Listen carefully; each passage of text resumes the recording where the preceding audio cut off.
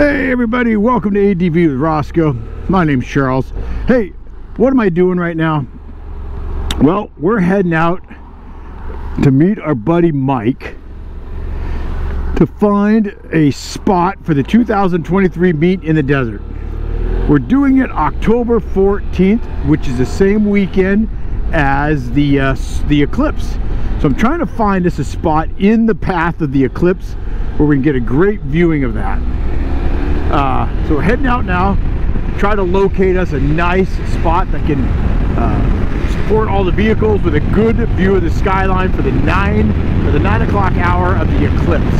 So let's get out there, let's try to find us something, and let's have a great time. Yeah!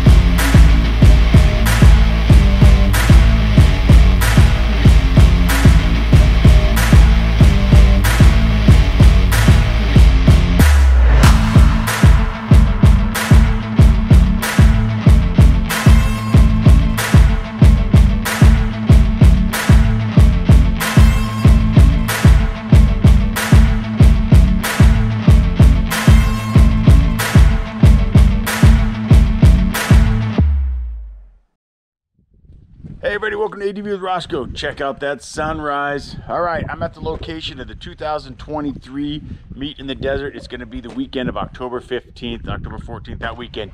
Uh, that's also the weekend of the eclipse. So we are in this spot because this is the path of the eclipse.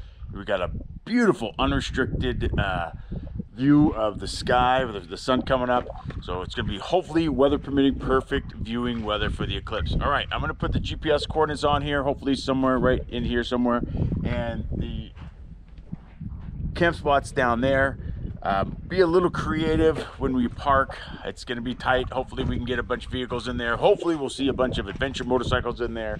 Um, but come check it out the weekend of October 14th, 15th. Um, just remember, it's the same weekend as the eclipse.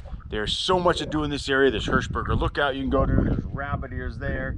There's Diamond Lake, Crater Lake. There's Natural Bridge. There's the Umpqua Valley. There's lots of things to see. There's the, I think uh, the Rogue Gorge is right nearby. There's lots to do in this area. So lots to explore that weekend of uh, October 14th, 15th.